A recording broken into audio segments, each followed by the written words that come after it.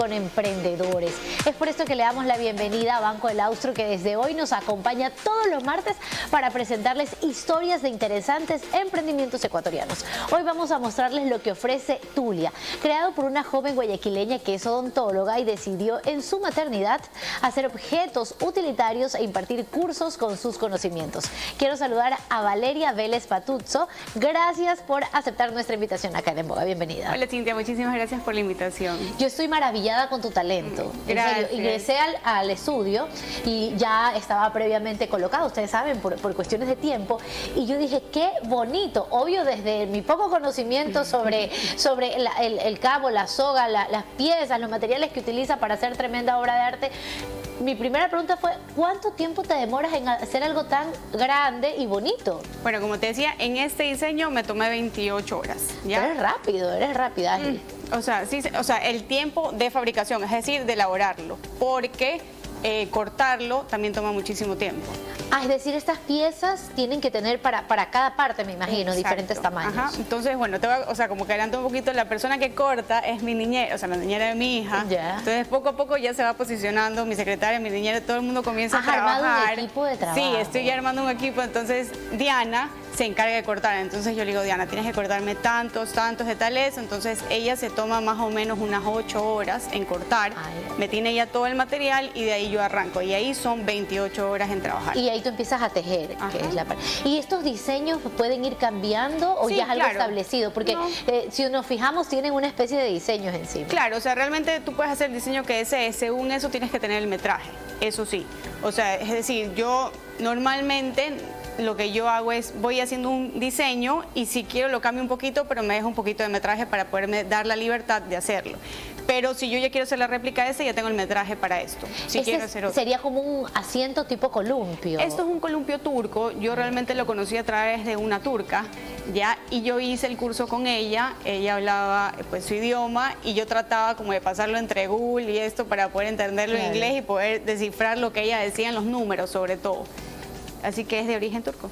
¿Sí? ¿Y, qué otros artículos haces aparte de Mira, o sea, Tulia comenzó, como te contaba, en mi maternidad. Yo soy odontóloga, soy rehabilitadora oral y también soy técnica dental. Y la parte de técnica dental realmente es lo manual y es lo que a mí me fascina.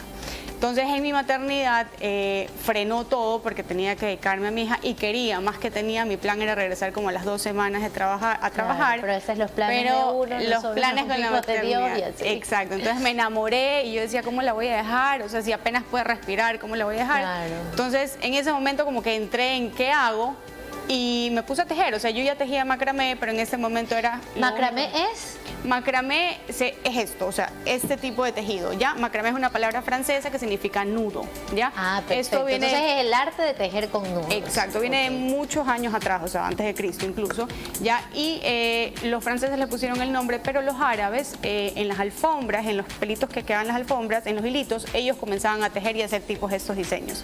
Entonces, por eso comienza ya el tejido de macramé, pero es como lo que hablábamos, es como el bordado, el crochet, todo esto tiene muchos años, o sea, realmente esto está como un nuevo boom, pero es muy antiguo. Claro. ¿Y, en qué momento tú dices, ya, ok, voy a, quiero dedicarme a esto, me fascina, lo disfruto y, ves la posibilidad también de un negocio? Porque probablemente tú antes de tu maternidad querías ser odontóloga para siempre, pero ya cuando ves que el negocio empieza a tomar mayor espacio y también buenos ingresos, yo creo que em, me adelanto, empiezas a cambiar de, de idea. O sea, realmente lo que estoy haciendo ahorita es uno de los inicios... Eh, como yo era jefa, o sea, soy jefa en la parte de odontología de una secretaria, yo antes no entendía mucho las mamás, ¿ya? Entonces ahora que soy madre tengo otra visión hacia las mamás. Entonces realmente eh, lo que voy a hacer con, o sea, lo que estamos haciendo con Tulia es yo hago y yo doy cursos, lo que estamos hablando, yo vendo insumos, doy cursos y ahorita estoy sacando como que todo este tipo de columpios, diseños, para eventualmente comenzar ya a tener un grupo de mujeres, especialmente que sean madres, para poder que tengan diferentes horarios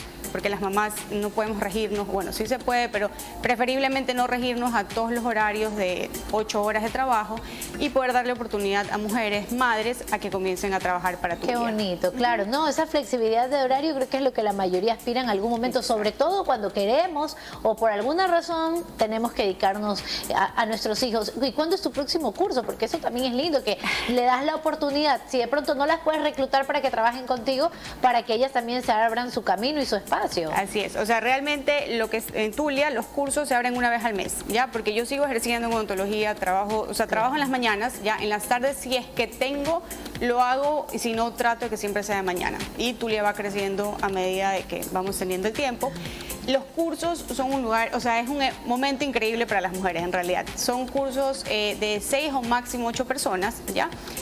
Vienen de todas partes del Ecuador, incluso hemos tenido de Manta, de todas partes, ¿ya? Y eh, ellas aprenden, comienzan porque quieren ver qué, qué tal, para relajarse, eh, y hay algunas que ya tienen negocios. Entonces eso es increíble porque no van con esa idea, pero de repente suben en Instagram y dicen yo quiero, yo quiero. Entonces eh, las que me piden ayuda les digo mira esto es el otro para que ellas vendan.